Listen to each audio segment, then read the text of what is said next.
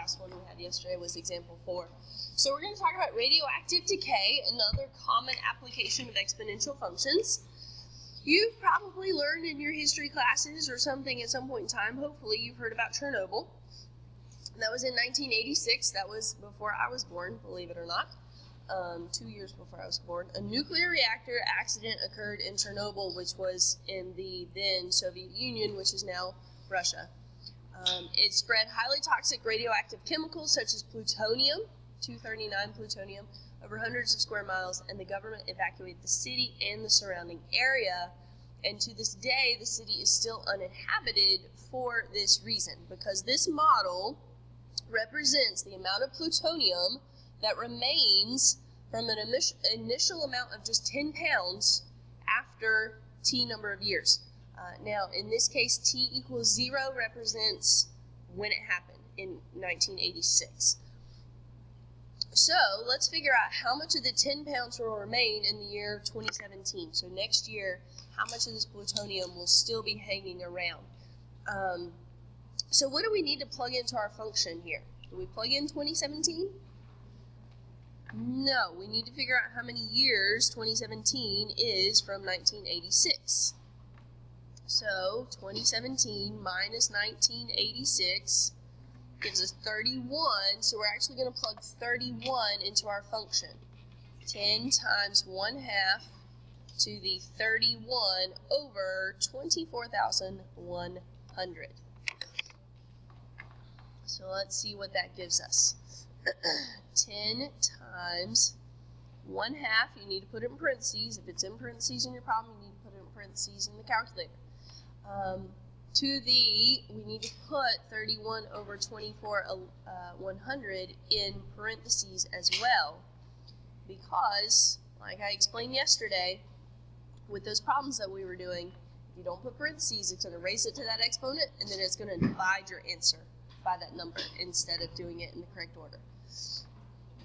So 31 years later, there is still approximately 9.991 pounds. It hasn't decayed very much. So radioactive this this radioactive plutonium does not decay very much even in 31 years. That's why this city is still uninhabited. How about after 100,000 years? Okay, all we need to do is change that T now, it's not in the year 100,000, it's after 100,000 years, so we can just type that in to our calculator. And let's let's kind of be smart about this. If you've never seen this, you can cancel zeros, so you don't have to type so much into your calculator. 100,000 over 24,100 is the same as 1,000 over 241, just as a side note. So 1,000 over 241. Okay, finally we see some decay there. Um, it's mostly gone, but that's after that's after 100,000 years. None of us are going to be around then. The Earth may not even be around then. 100,000 years, that's a long time. so, obviously it takes a long time for this plutonium to uh, decay. Now, I've got another question on there. This is radioactive decay. Radioactive decay, a lot of times, is also referred to as half life. So I asked, what's the length of the half life of 239 plutonium? Um, now, you may know, you may have seen these formulas before, so you know which part of the formula is the half life. But if we didn't know what part of the formula it was, how might we figure that out? How can we figure out what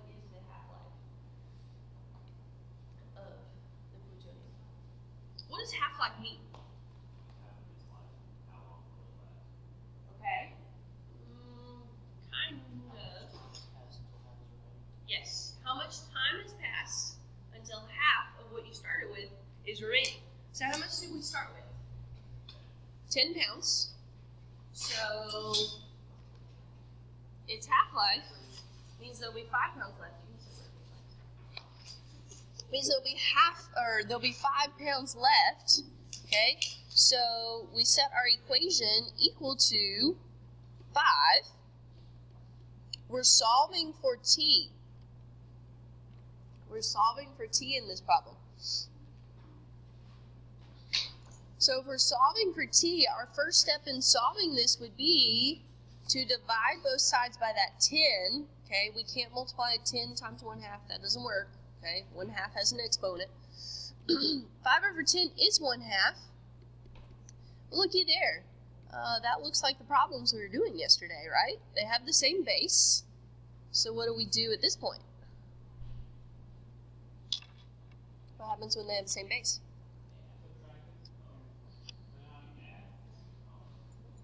What did we do when they had the same base? We set the exponents equal to each other. Well, this side over here is to the first power. This side is the power of t over 24,100. so to solve for t, we multiply both sides by 24,100. So that means that the length of the half-life is 24,100 years. So it takes 20 over 24,000 for half of this radioactive material to decay. That's a really long half-life.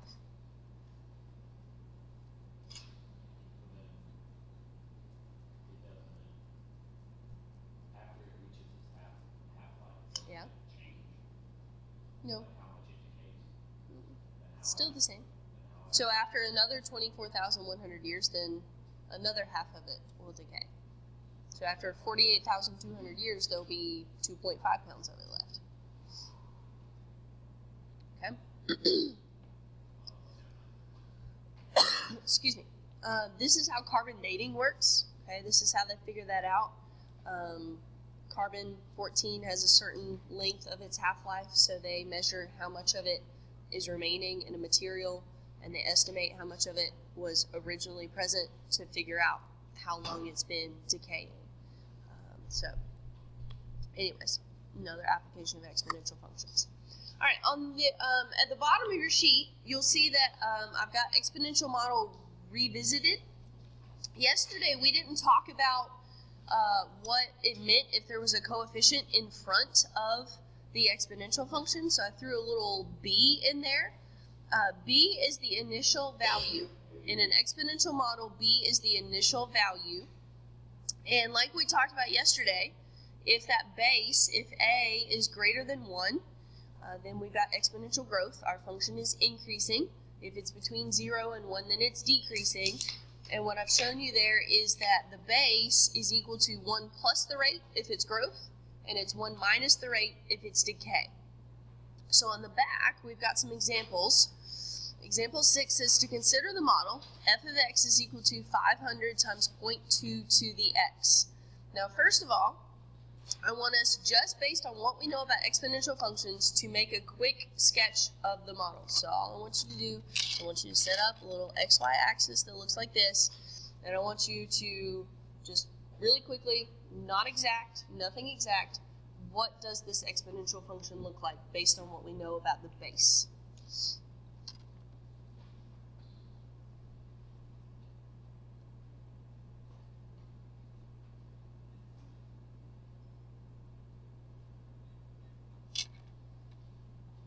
Is it bigger than or less than 1? Less than. So it means that our exponential function is increasing or decreasing? Decreasing. Okay? So when you see this model, this is the picture that should pop into your mind. Okay? Because that's what our exponential functions do. That's just the general shape of an exponential function. It's either increasing or decreasing. So if it's increasing, then it's just flipped over the y-axis. Yeah, yeah. Which, I mean, we can figure out really easily. The initial value is 500, so um, I'm just going to say that my scale right here is, um, that's 500. Where it crosses the y-axis, it's going to cross the y-axis at 500. Okay?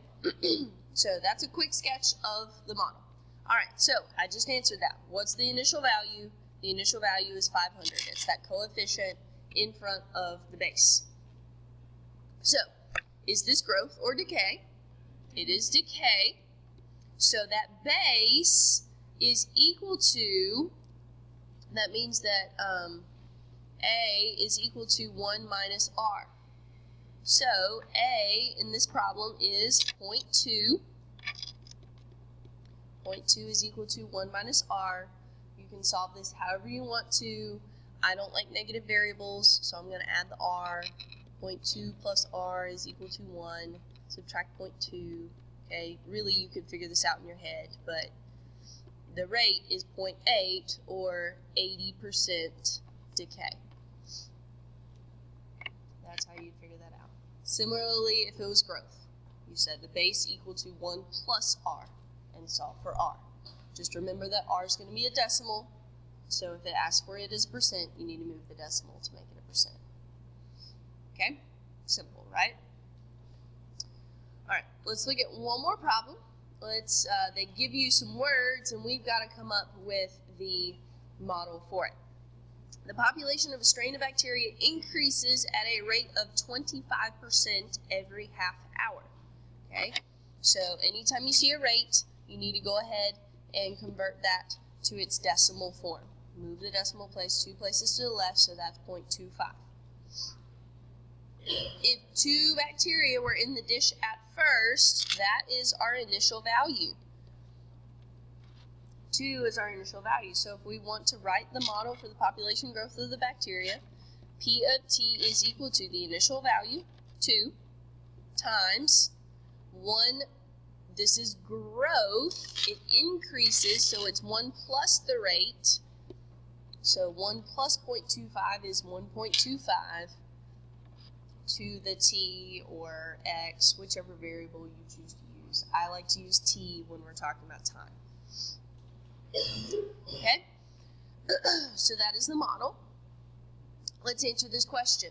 How many bacteria will be present after four hours? What do we need to plug into our formula? Mm, be careful. Read the details. What's the rate?